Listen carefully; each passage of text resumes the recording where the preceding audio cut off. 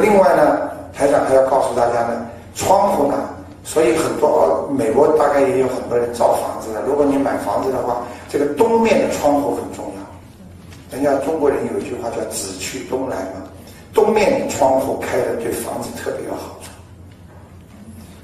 所以很多人呢，家里呢，为什么会吵架？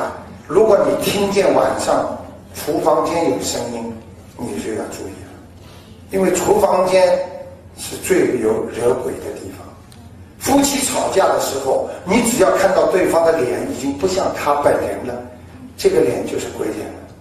这个男人平时很好的，那个时候他已经是完全失控了，哎呀，就这样了，砸东西了，这个已经是鬼在他身上。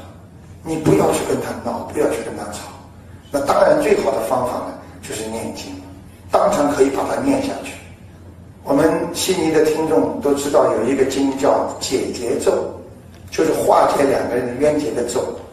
这个解结咒呢，念念念念呢，会把对方的气会念消下去。